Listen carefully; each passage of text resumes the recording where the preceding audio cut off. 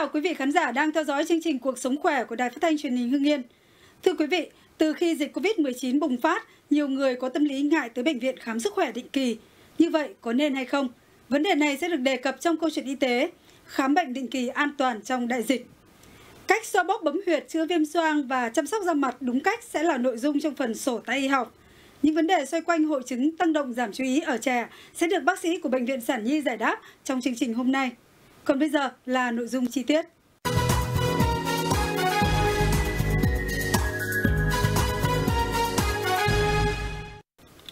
Viêm xoang là một căn bệnh phổ biến, gây khó chịu cho người mắc và có thể dẫn đến các biến chứng nguy hiểm. Hiện nay, thuốc tây chữa viêm xoang rất đa dạng, có cả dạng uống, dạng nhỏ và dạng xịt. Tuy nhiên, nó cũng có nhiều tác dụng phụ ảnh hưởng đến sức khỏe. Sử dụng lâu dài sẽ gây ra tình trạng nhờn thuốc. Vì vậy, nhiều người ưu tiên thực hiện liệu pháp xoa bóp bấm huyệt của Đông y.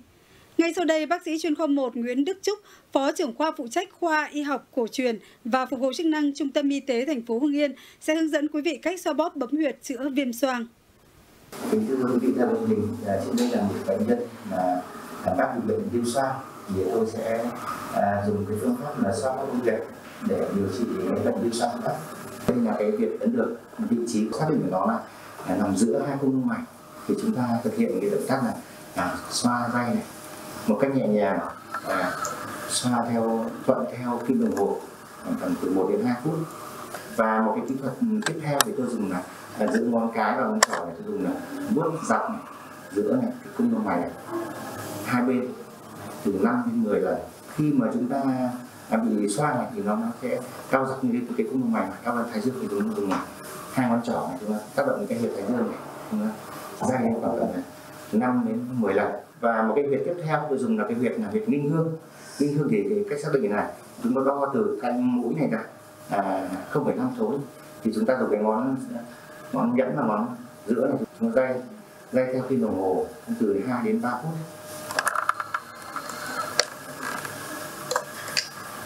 Và cái huyệt thứ tư này tôi dùng là cái huyệt là kim thông thì vị trí xác định của nó từ cái nhân trung này đó là cái chóp nhân trung này thì chúng ta tác động trực tiếp.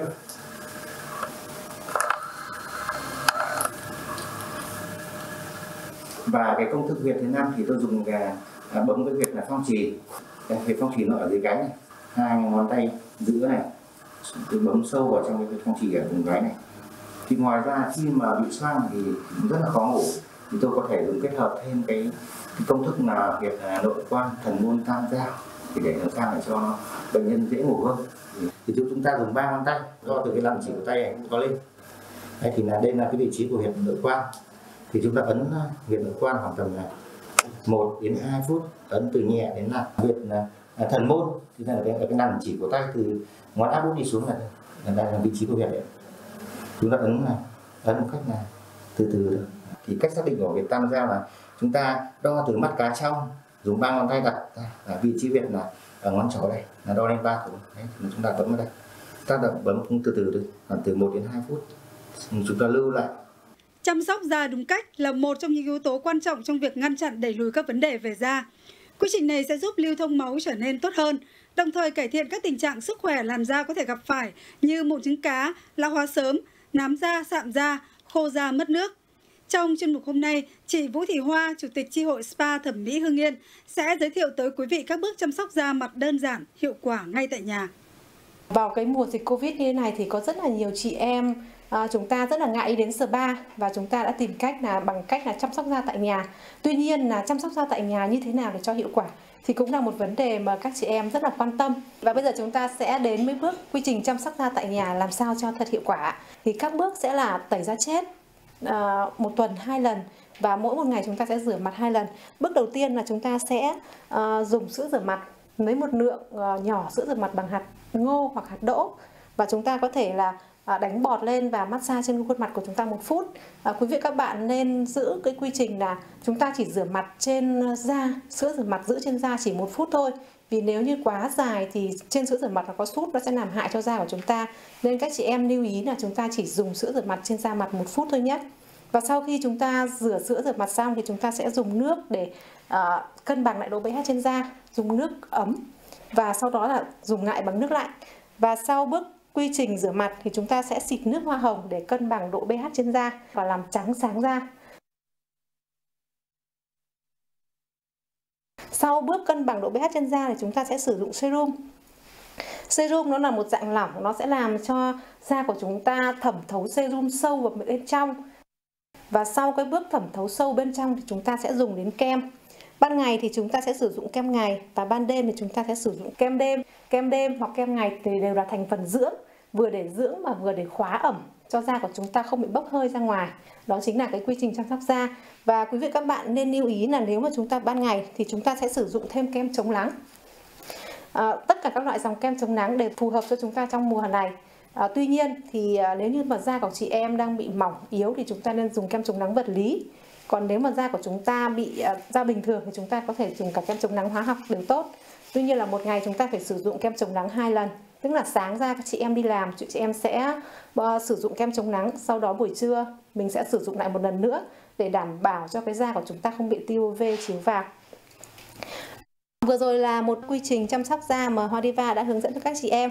À, các chị em à, à, lưu ý là chúng ta hãy làm đúng bước để không bị mất thời gian và chúng ta lại có một làn da thật là khỏe đẹp.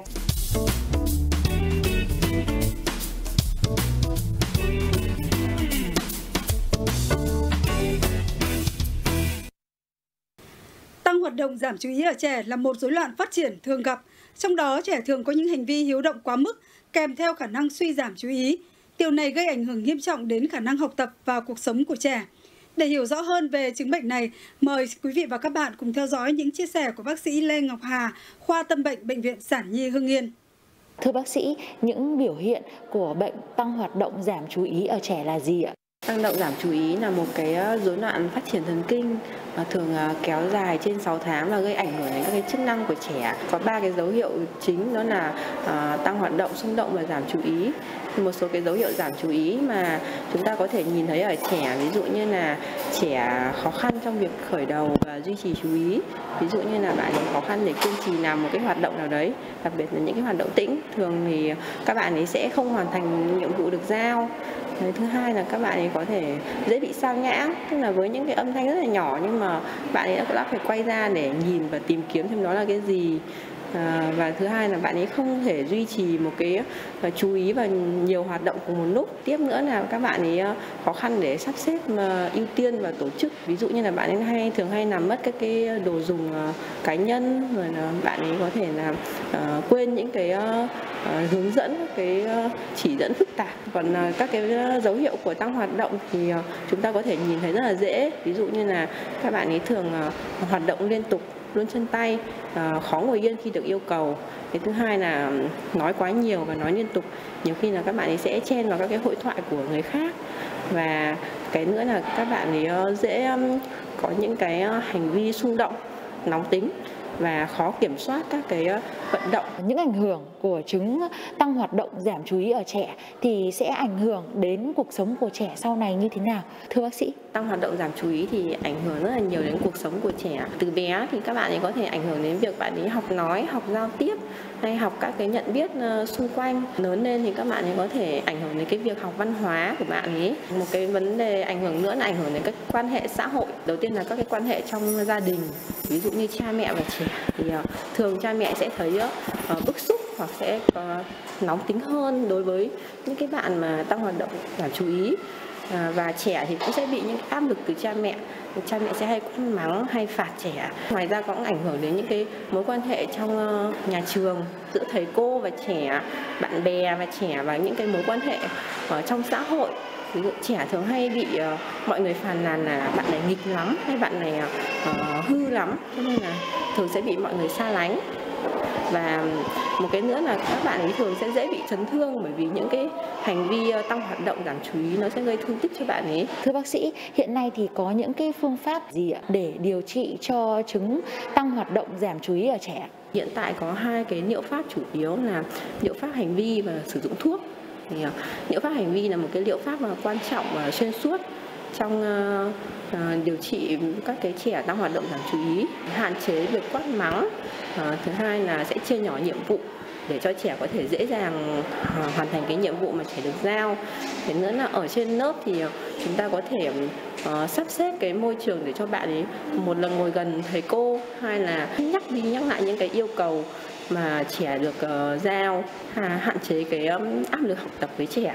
Ờ, và tạo ra một cái mục tiêu ờ, nó phù hợp với khả năng học tập của trẻ còn về cái việc uh, sử dụng thuốc thì uh, hiện tại thì cái thuốc đầu tay chúng tôi sử dụng là methylphenidate và thường được sử dụng cho những trẻ từ 5 tuổi rưỡi đến 6 tuổi mà cái uh, hành vi tăng hoạt động giảm chú ý nó ảnh hưởng nhiều đến cái chức năng của trẻ trong cuộc sống và trong học tập.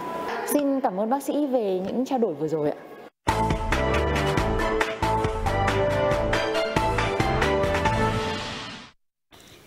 Thưa quý vị, từ khi dịch bệnh COVID-19 bùng phát, nhiều người có tâm lý ngại tới bệnh viện khám sức khỏe định kỳ, bởi bệnh viện là nơi tập trung đông người, có thể tiềm ẩn nguy cơ lây nhiễm virus gây bệnh COVID-19.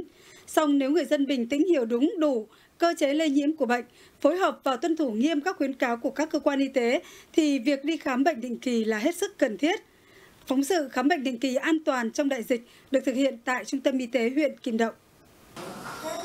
Cụ Đào Công Tý năm nay đã 88 tuổi, cụ bị bệnh huyết áp cao hơn chục năm nay.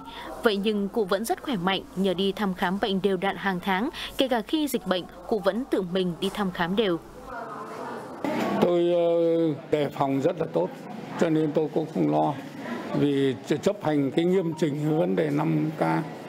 Cái thứ hai cái quy định của nhà nước và của địa phương. Tôi, cho nên là cũng tuyệt đối là không không đi chơi đâu mấy. Tôi đi khám định kỳ hàng tháng thì là tôi đi rất là đều. Việc đi khám sức khỏe định kỳ là vô cùng quan trọng, đặc biệt là đối với những người có bệnh hoãn tính. Song trong tình hình dịch bệnh, nhiều người chỉ đến viện khi quá mệt. Tôi thì nói thật là trong mùa dịch đi khám định kỳ này cũng rất là lo lắng về bệnh nhưng mà à, có bệnh thì vẫn cứ phải đến bệnh viện à. Trong tình hình ờ, dịch bệnh nó diễn biến phức tạp như này nhưng mà do sức khỏe của bà tôi bị tiểu đường nên là hàng tháng định kỳ tôi cứ phải xuống trả bà xuống lấy thuốc chứ nếu không mà không may uh, nhiễm covid thì là không không thể làm mà chữa được. Lo lắng trước nguy cơ lây nhiễm COVID-19, nhất là khi đã có nhiều trường hợp nhiễm bệnh do nguồn lây từ bệnh viện. Chính vì điều này, nhiều người dân phát sinh tâm lý hoang mang, e ngại đến bệnh viện mà tự mua thuốc để sử dụng mỗi khi có vấn đề về sức khỏe. Điều này tiềm ẩn nhiều nguy cơ gây hại cho người bệnh. Có một số những cái trường hợp cũng đã xảy ra những cái tình huống là một số các cái bệnh nhân là do tâm lý sợ sệt hoặc là cũng có một phần là chủ quan tự ý đi mua thuốc về điều trị theo những cái lần trước mà bác sĩ hướng dẫn thế cho nên là cũng có một số đã xảy ra những cái, cái tác dụng ngoài mong muốn để đảm bảo an toàn sức khỏe cho đặc biệt là những cái nhóm người cao tuổi và có nhiều bệnh lý nền mãn tính đấy. Thì thứ nhất là gì? Cái việc tiêm chủng hiện nay là cũng được hướng dẫn và triển khai tiêm khá đầy đủ. Thứ hai nữa là bệnh nhân thì lên thực hiện đi khám bệnh theo hướng dẫn của thầy thuốc để được đảm bảo an toàn sức khỏe trong mùa dịch. Trong bối cảnh dịch COVID-19 đang diễn biến phức tạp, số ca nhiễm tăng lên nhanh chóng, mỗi người càng cần chú ý tự bảo vệ bản thân và gia đình của mình.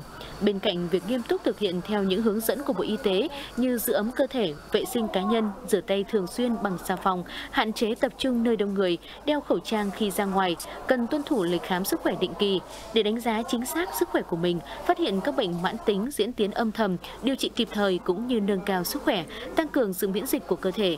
Đây chính là những yếu tố tiên quyết giúp phòng chống dịch bệnh hiệu quả. Điều này đặc biệt cần thiết với những người cao tuổi và có bệnh lý nền. Chương trình hôm nay xin được tạm dừng tại đây. Cảm ơn sự quan tâm theo dõi của quý vị và các bạn. Xin hẹn gặp lại trong chương trình lần sau.